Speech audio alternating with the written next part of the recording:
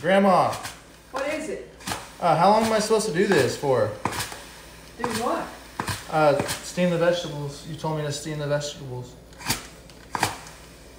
What? Like, how long am I supposed to do it for? What are you doing? You told me to steam the vegetables, Grandma. I did. Well, what? You're, that's not the way you steam vegetables. Why Hold did- on, look here. This is a steamer.